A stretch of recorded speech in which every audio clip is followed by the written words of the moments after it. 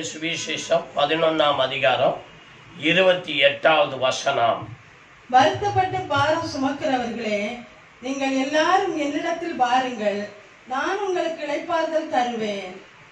அருமையான தெய்வ மக்களே வருத்தப்பட்டு பாரம் சுமக்கிறவர்களே நீங்கள் எல்லோரும் என்னென்ன வாருங்கள்.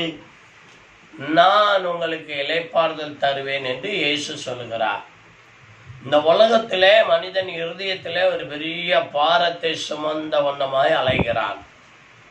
அந்த மனிதனுடைய பாரத்தை எங்க கொண்டு போய் இறக்கி வைக்கணும் என்று தெரியாமல் இந்த உலக மனிதன் சுற்றி கொண்டிருக்கிறான். இன்னைக்கு அநேக தேவ பிள்ளைகளும் தங்களுடைய பாரத்தை சுமந்து கொண்டு அலைகிறார்கள்.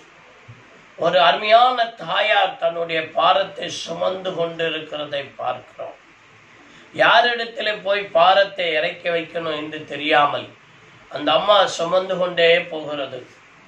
போகிற வழியிலே ஒரு மாட்டு வண்டி வருகிறது. அந்த மாட்டு வண்டிக்காரர் சொல்கிறார் அம்மா நீங்கள் என் வண்டியில ஏறிக்கொள்ளுங்கள். அந்த தாயார் அந்த மாட்டு வண்டியில என்ன செய்தார்கள்? ஏறிக்கொண்டார்கள். ஏறிவிட்டும் அந்த பாரத்தை தன்னுடைய தலையில என்ன செய்து கொண்டார்கள்? வைத்து கொண்டார்கள். அந்த வண்டி மேலே என்ன செய்யவில்லை? இறக்கி வைக்கவில்லை.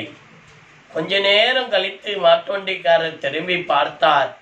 அந்த அம்மா தலையிலே பார சுமந்த வண்ணமாய் இருந்தார்கள். இன்னைக்கு அநேக தெய்வ மக்களும் சரி சாதாரண மக்களும் சரி தங்களுடைய பாரத்தை எங்கே இறக்கி வைக்கணும் என்று தெரியாமல் ஓடிக்கொண்டிருக்கிறார்கள். அருமையான மக்களே நீங்க தேவன் இடத்துல உங்கள் பாரத்தை இறக்கி வையுங்கள். இயேசுவின் இடத்துல உங்கள் பாரத்தை வை இறக்கி வையுங்கள். அவர் உங்களுக்கு அற்புதம் செய்வார். கானானிய ஸ்திரி என்கிற ஒரு பெண் இயேசுவை கேள்விப்பட்டு தன்னுடைய மகளால் இருந்த பாரம் நீங்க வேண்டும் என்று சொல்லி இயேசுவே என் மகளை சுகமாக்கும் என்று சொல்லி கேள்விப்பட்டு வந்தாள். ஆனா இயேசுவிட்டை கேட்டுக்கொண்டால் இயேசு சொன்னார் பிள்ளைகளின் அப்பத்தை நாய்க்குட்டிகளுக்கு போடுவது நல்லதல்லன்னு. ஆனால் அந்த காணானிய பெண் சொன்னால் மெய்தான் ஆண்டவரே மேசையிலிருந்து கீழே விழுகிற அந்த உணவை நாய்கள் அக்குமல்லவா அப்படின்னு சொன்னார்.